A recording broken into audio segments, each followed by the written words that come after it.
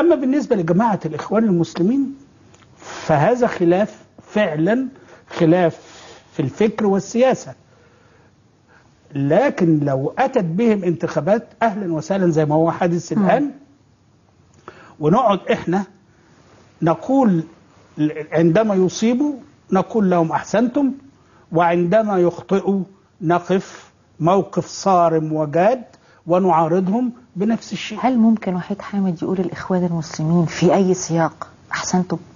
لو عملوا شيء جيد في صالح الوطن. يعني لن تتحرك. اطلاقا.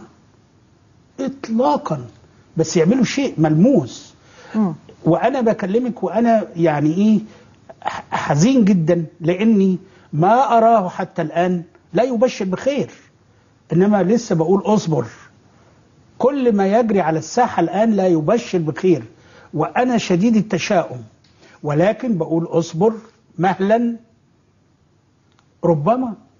لكن أنا لو لقيت شيء جيد يا خبر هو إحنا كلنا إيه؟ كل المصريين هدفهم إيه؟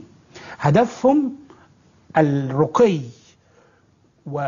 والطمأنينة وإنصلاح وإصلاح الحال سواء في الناحية الاقتصادية أو الناحية الاجتماعية أو مشاكل الناس حتى الآن لم يقترب منها أحد.